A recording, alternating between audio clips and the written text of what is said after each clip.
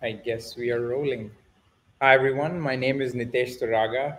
I am a scientist in the Department of Data Science at the Dana Farber Cancer Institute of Harvard Medical School. And I'm also a member uh, of the Bioconductor Project, a core team member of the Bioconductor Project. Uh, today, I'll be talking about Bioconductor and Docker. Um, and how we deliver containerized open source genomic data analysis software. So before we begin, um, you guys can follow along my slides uh, at this link. It's bit.ly biocdocker 2021. Uh, let me know if you have any issues accessing that link. Uh, it should be open to all. Let me start off with just introducing what is Bioconductor. Uh, I know this is a very different audience to ones I've presented to earlier.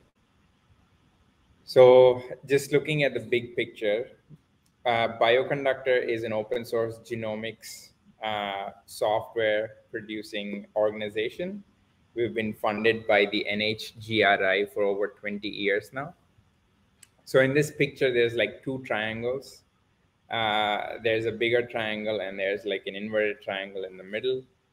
So on the bottom edge of this, um, you'll see basic genome biology, biotechnology, and high dimensional data science. So you have these data scientists at the right bottom vertex of the bigger triangle who are producing these machine learning methods, uh, data structures, and all these high dimensional data science methods to um, uh, so to take advantage of uh, all the assays which are being produced in the biotechnology industry. So the biotechnology industry produces your sequencing uh, platform, single cell methods, uh, DNA, RNA sequencing, different types of assays are being developed. And then you have uh, the basic genome biologists on the left-hand corner of this big picture triangle, a lower left-hand vertex. And what Bioconductor does is help biologists take advantage of these innovative assays produced by the biotech industry and also the high dimensional data scientists. So we produce software which does pre-processing, analysis, annotation, of all of these assays so that um, we can help science move up uh, the two other edges of the uh, triangle. So as we move up the sides of the triangle, we have integrative genomics on the left hand side, and we have like population genetics and genomics on the right hand side. And as we go to the apex, um, the goal is to uh, create an objective way for uh, scientists to think about open questions in biology and figure out therapeutics for diseases or as we call it right now personalized genomic medicine. So that's the big picture. Bioconductor produces software for analysis so just to think about this a little bit more and introduce you guys to this a little bit more, uh, we are an open source organization. We produce open source software in the form of R packages. And all of these R packages are geared towards analysis of high throughput genomics data. So this includes your DNA sequencing, RNA sequencing, chip sequencing, so on and so forth. Um, and we at Bioconductor produce core infrastructure such as data structures, data models, annotations, and so on, so that researchers can analyze their data in a more structured manner. So this is the website, bioconductor.org. Feel free to check it out. Um, and if anyone's familiar with uh, the repository structures and you're familiar with R, so we're like CRAN, but geared towards genomics. So we recently had our release 3.14 in October of this year. It's the most recent stable release. Um, I don't see any chats. Um, there we go. Uh, we had our most recent stable release in October uh, 2021. and we now have over 2,000 software packages. We also have experiment data packages. So when scientists produce uh, data from their experiments, they can put it in a package in R and publish it from Bioconductor. Um, similarly, we have annotation packages, which is the metadata for um, for sequencing uh, data and so on. We have workflows and we have books as well. And the image on the right hand side of this is just showing you guys uh, the different packages we have and how we uh, view them in different um, different ways. Like you can uh, segregate them based on the biological question, infrastructure, the research field, the statistical method, and so on. So I'm going to talk about the impacts of uh, Bioconductor after we started using Docker. So our users are researchers, genomics researchers to be specific, who are doing valuable work to create therapeutics for diseases. Their time is incredibly valuable. So these researchers should spend more time doing science rather than figuring out infrastructure, dependencies, how to install things, so on and so forth. So we at Bioconductor use Docker to answer some of these questions and to help rapidly set up the users and let them do their analysis of their genomic data. So we went from a collection of uh, multiple software packages to a killer application or a platform. That's the goal. And our team has uh, bioinformaticians, statisticians, computational biologists, computer scientists, so that we can make all of this hard stuff easier for researchers. One of the biggest impacts uh, is that we were able to encapsulate all the dependencies and infrastructure which, which are needed for Bioconductor to work on an individual machine within a Docker image so infrastructure and dependency management became extremely simple. So uh, Docker is cross-platform. So our users who use either a Windows machine, a Linux machine, or a Mac are able to use it as they want. Our packages have two sets of dependencies within their metadata. So they have a depend section which essentially encapsulates all the other packages within Bioconductor or CRAN that this single package needs to work. And it also has system requirements. So this is software outside of R that your package needs. So something like Java, Fortran, something extra. So all of these are now encapsulated within the Docker image. So setting up your analysis environment is rapid now. Another advantage of our Docker images are they provide an extremely nice test environment. Um, so we have new packages which are being developed and being contributed by our research community to Bioconductor every six months. So our release cycle is every six months and we get about 50 to 70 packages per release cycle. Um, and it's it's steadily increasing over time. So when new packages are being developed, we would want users to make sure that uh, the packages being contributed are tested well, because this analysis, uh, uh, again, is extremely important because it's biomedical science. So it provides a new test, envi- uh, test environment for new packages and it also helps us uh, maintain existing packages. So maintainers of existing packages get to improve functionality and add new features uh, using this test environment. And as always software isn't perfect so there's plenty of bug fixes which come along with uh, using you know bioconductor usually and maintainers get to fix their bugs using this test environment. Recently, as of one year ago, we started providing binary packages. So let me just tell you guys a little bit more about this. Um, so when you install a package in any platform, uh, either Python or whatever it is, that library or package takes time to compile on your local infrastructure. So now that we have a Docker image, we're able to give out uh, precompiled binary packages for our users.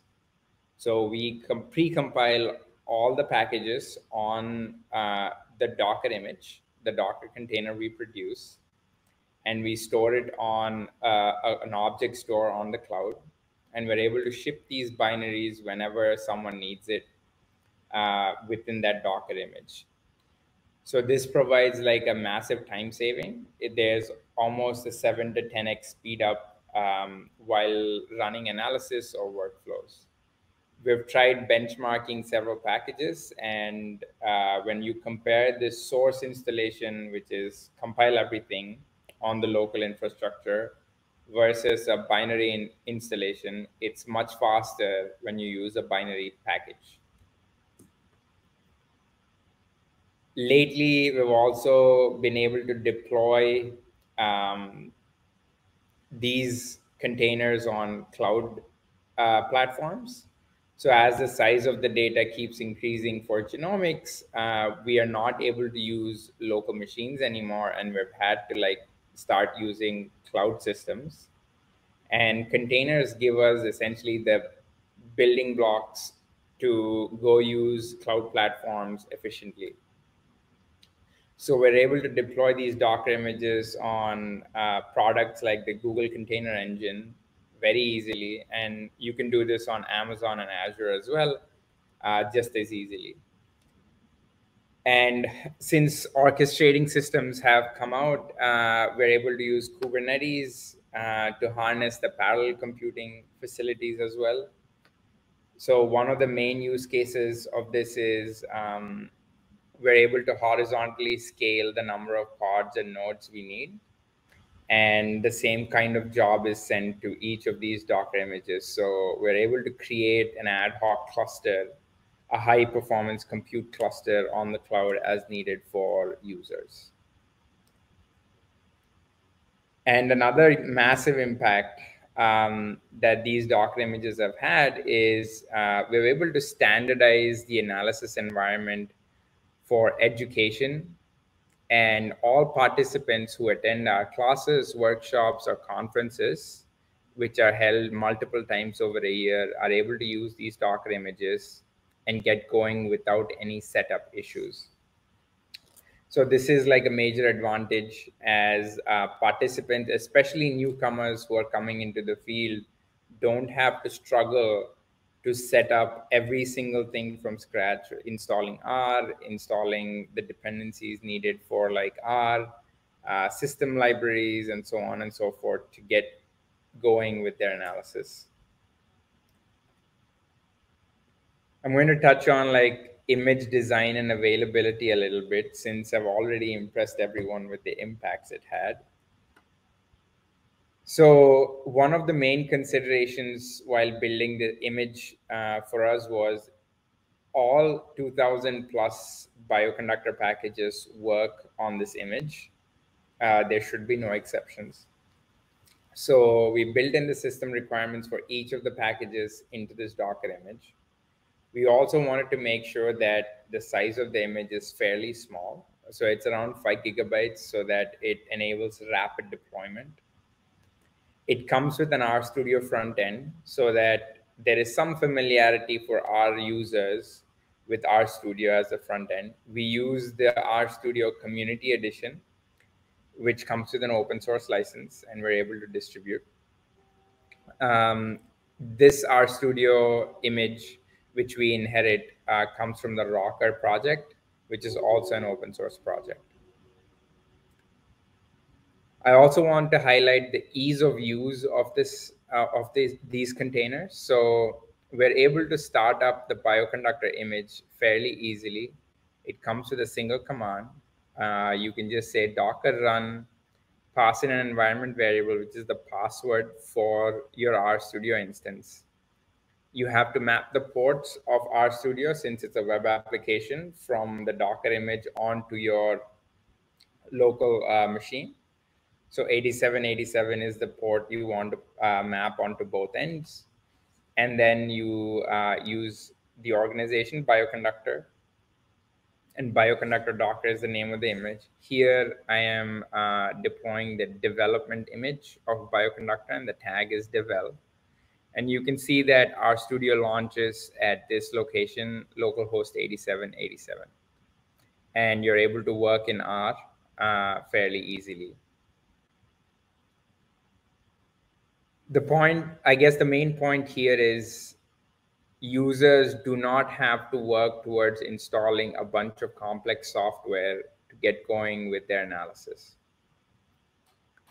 It's available on Docker Hub, um, and the organization's name is Bioconductor. It's now supported by the uh, Docker Open Source Initiative. So we have unlimited egress, um, and we have um, multiple tags, one for each release. So every six months, we have a release of Bioconductor with a bunch of new packages. So we have uh, all the way up to like release 3.9, I believe, um, which goes back almost three or three years or so. So um, each release is stable and it works with a set of packages which are available for that release. Um, it's also available on the Microsoft Container Registry. Uh, so the Microsoft Genomics team, which is part of Microsoft Research, hosts their mirror of the bioconductor images. Uh, you can see that it's a very Docker-like view, but the image location is different. It's now, uh, the registry name is different. So you have to say docker pull mcr.microsoft.com bioconductor docker latest. So that's something to keep in mind. And these images have been adopted in a pretty widespread manner so far. Uh, we have seen adoption at scale in multiple other open source projects.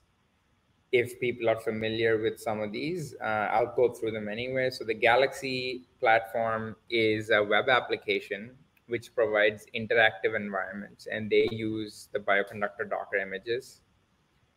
Renku is a collaborative data science platform which lets you do data science on all sorts of uh, data, including genomic data. And for their genomic data analysis with RStudio, they use the bioconductor Docker image. The Melbourne Bioinformatics Consortium has uh, the Genomics Virtual Lab, which also uses the bioconductor Docker image for their anal analysis. So that is hosted on uh, the Australian public cloud, I believe. And more recently, within the United States, we've had the AnVIL project, uh, which is hosted completely on the Google Cloud right now, but it's going to be available on uh, Azure as well, coming out pretty soon. So that went a lot faster than I expected. Um, since I expected some questions, but I don't seem to have any but uh, so the bioconductor team has uh, a build system. Uh, so the build system essentially has like a Windows, Mac, and a Linux machine servers, which build all of our packages every day, um, all 2,000 plus packages every day to make sure that everything is building cleanly so we've, we've had a few problems with this. Like we're trying to explore like container solutions for all of the platforms. Um, and we we have a, docker based solution for the linux uh, based build system right now. We're exploring windows containers. Um, but we have some questions regarding orchestration of windows containers using kubernetes and whether this is possible or not I'm looking for some input from the community, and um, this is the reason I've been attending like all the talks so far. I haven't heard anything about Windows containers so far, though. And we also have the Mac platform, and the biggest issue with this is um, there don't seem to be any container-based solutions unless someone someone tells me otherwise. So I'm looking for any advice on this topic. And I also want to thank the Docker team. Thank you for the invitation to present. Thank you for making us a part of your open source initiative. And thank you for the great technology you have available. If you have any questions, please email me. Um, My email is nitesh at ds.dfci.harvard.edu. If you have any questions for Bioconductor, it's biocdevel at rproject.org. And I want to also give acknowledgements to the great Bioconductor team. I'll just click on this link to show you guys pictures of the team. So we have a smaller team, but they're all very good people. They're great, they're great engineers. Yeah. Thank you.